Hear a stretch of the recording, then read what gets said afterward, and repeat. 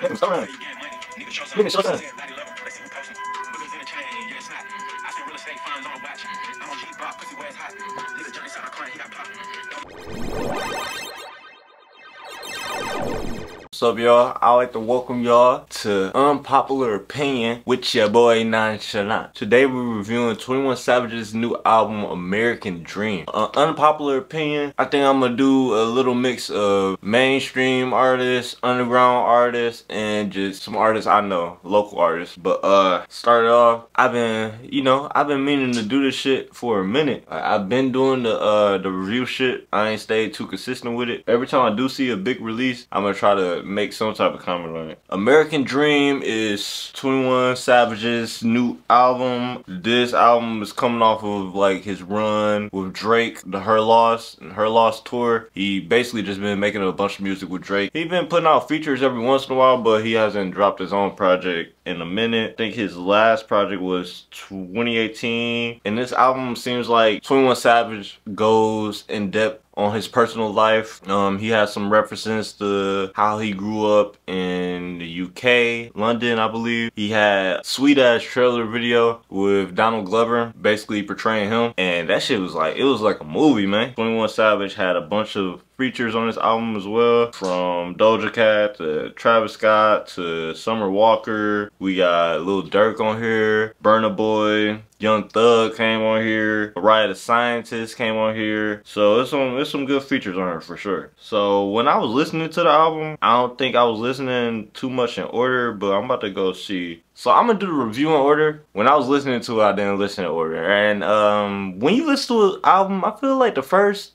time you listen to it, you should listen to it in order because sometimes there's storytelling from A to Z, you feel me? Like if you listen to a Pierre album, you wanna listen to that bitch from A to Z first and then you wanna shuffle it because you just wanna see the flow of the album. Like album flow has a lot to do with how you like a project. That's why people hire people just to figure out the sequencing of an album. Sequencing is one of the most important things of a project you actually call an album because an album, people see album, they think like, oh yeah, this shit is about to be something in depth. Yeah, the first song is a American Dream intro. It's just some lady like building up the story or whatever and uh 21 Savage, did he rap at the end?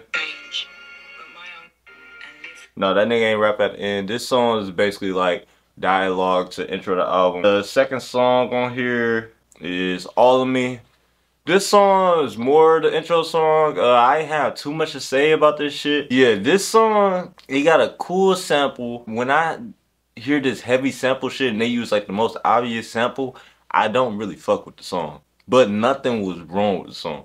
And the video was cool. This was the video they had with the trailer with Childish and I think his son playing him when he was a kid. So that was cool. The video was cool as hell, but the, the song was just a song. Like I ain't about to run that bitch back too much. He had a bar. He said he a homebody, so kill him in his yard. That was kind of hard. Third song on this album, one of my favorites is uh, Redrum. First off, I like to say this video probably the best video for the album. I don't know who shot it, but it was just crazy, bro. That was in London. It got this one shot in the video where it's like five people smoking a joint or whatever and they got like a freeze frame on the joint just like staying in the air and then somebody coming up and smoking that bitch. That shit is hard.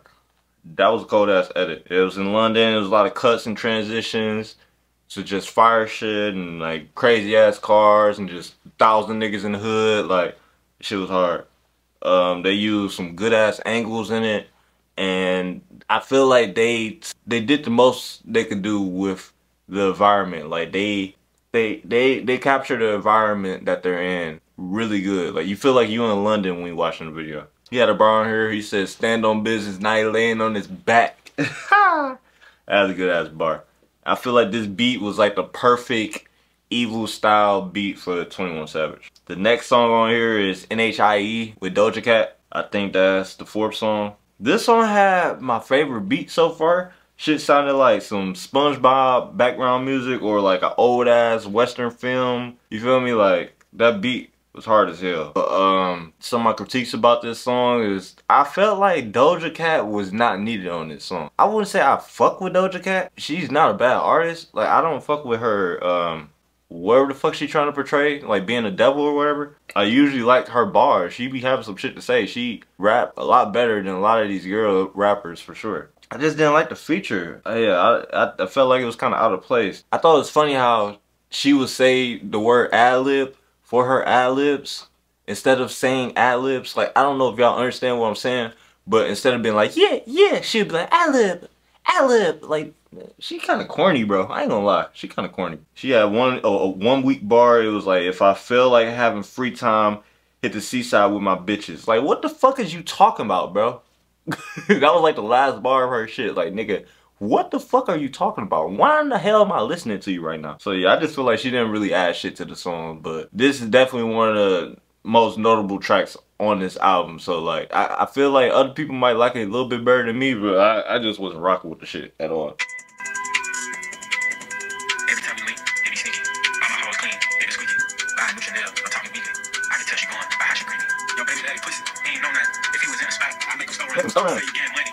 Nigga, show some.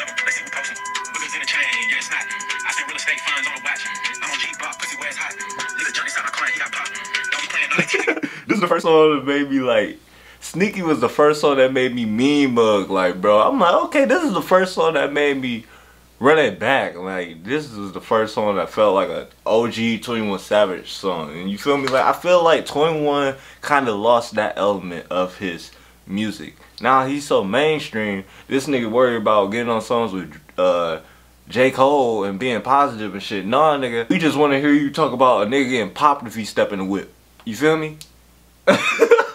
so this was the first song that made me really feel something, bro. Like all the other songs is cool and shit, but like that nigga done went industry, bro. First song that had me geeking, like yeah, this is this bitch had me rocking. Slower pace, but like he talking his shit.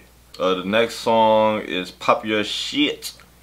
And it's funny because this is like one of the last songs I heard, even though it's the sixth song on the album. Pop Your Shit had my favorite beat on this album. 21 Flow on this bit was godly. Like, I ain't gonna lie, bro. This song I had to replay about three times. It's fucked up because I was rocking with this shit until this nigga said, it smelled like gas. I think somebody pooped. That shit fucked up the whole song for me. I'm like, bro, no, man, y'all niggas got better bars than this. I thought Thug verse could have been a little bit better. Like I'm, I'm on this nigga head. He in jail right now. I don't know how he did this verse. It's probably an old song, but uh, it's definitely an old song. He for sure ain't do that shit unless he got. Uh, he might fuck around that nigga. He might have a mic in the studio somehow. he might, and he got a studio in the prison. And he got a studio in the in the in the jail cell. It's crazy. Yeah, Thug verse it was cool when it came on and then you really start listening to the shit and I just felt like it wasn't arranged properly. Like this song could have been arranged a little bit differently because I just feel like it doesn't flow all together. And that'd be the thing about features. Like niggas be getting features just for name. People gotta start getting features to make a song better. We gotta get over this. Oh, you see this name, you automatically fuck with the song. Hell no, that ain't how that shit work, bro. It's about who work for certain songs, bro. You can have a no-name nigga amplify a song more than just a notable fucking feature. And then the notable feature only probably gonna like not take the shit serious in the first place. So yeah, this shit sounded like some old shit that got resurfaced. Next song was Letter to My Brother. Uh, I don't got much to say about it. It was just a, deep song about his bro in jail. I don't think I have too much to say about it. It was like an interlude he said they'll stand on couches with you, but they won't stand on business. No cap. No bap. Let's go to the next one. The next song is Dangerous, featuring Lil Durk. Oh yeah, I forgot to say Metro produced the one with Thug.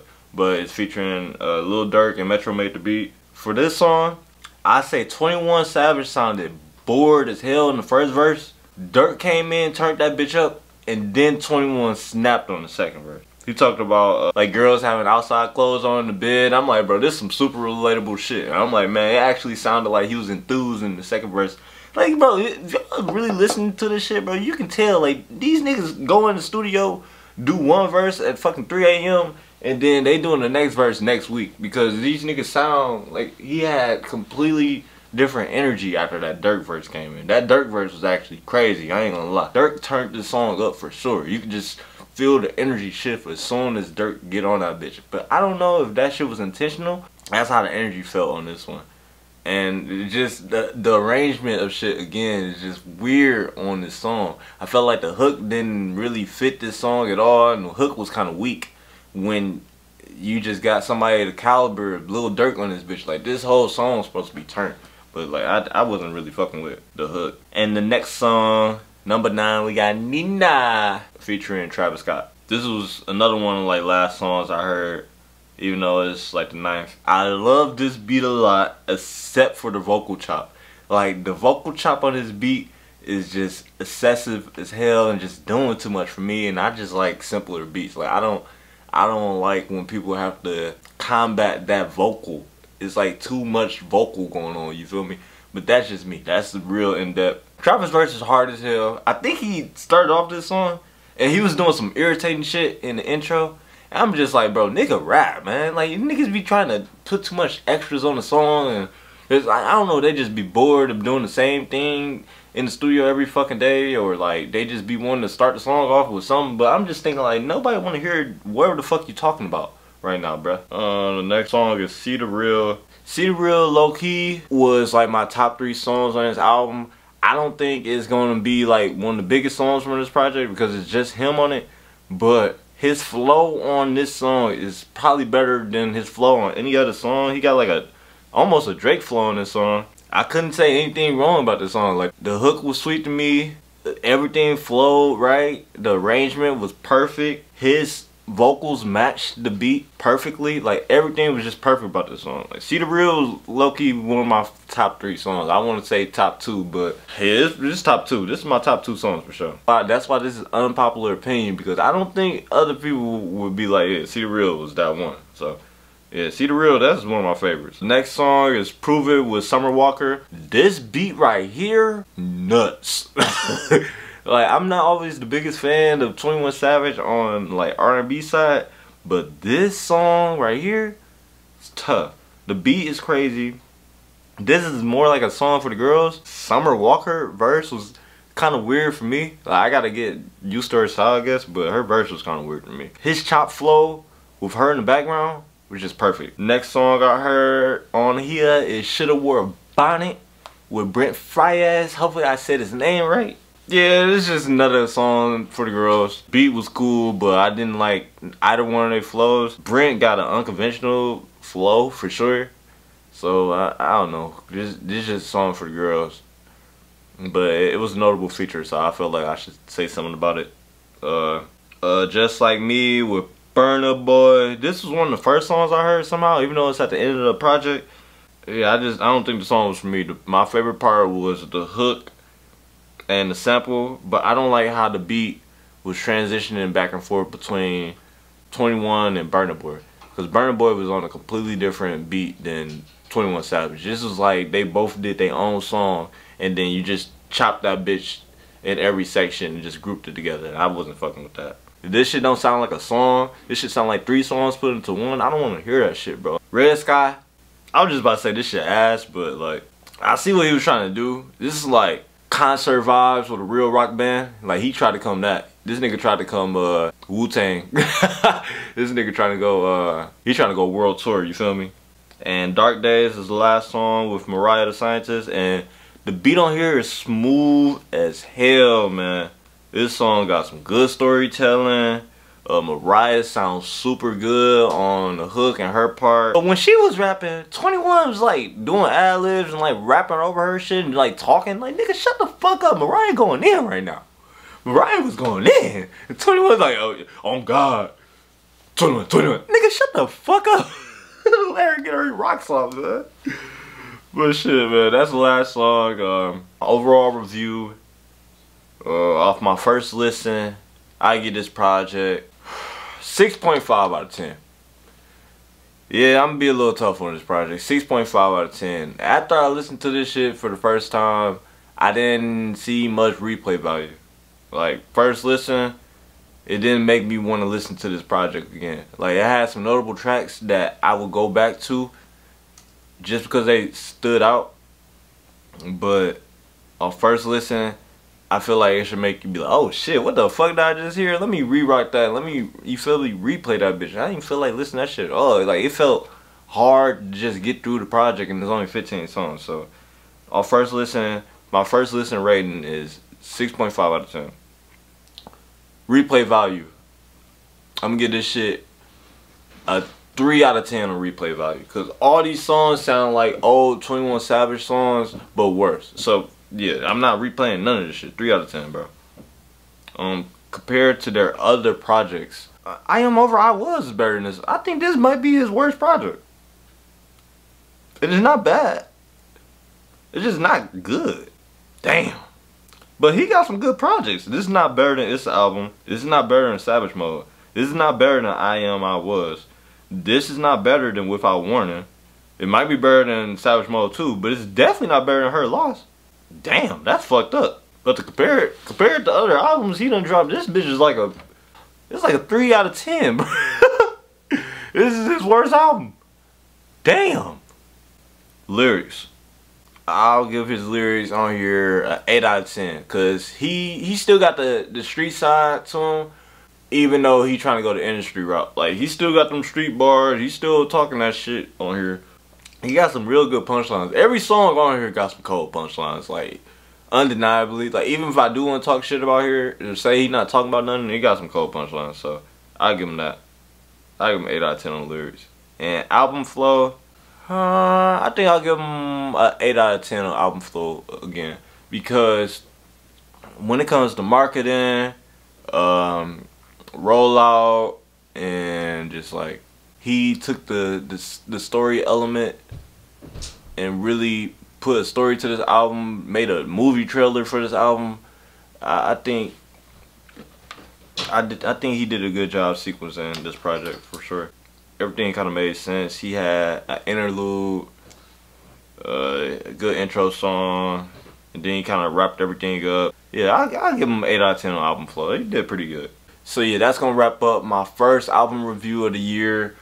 Unpopular opinion with your boy NN. Shout out to my boy 21 Savage. Shout out to Kilton. Shout out to Godly. We got this bitch.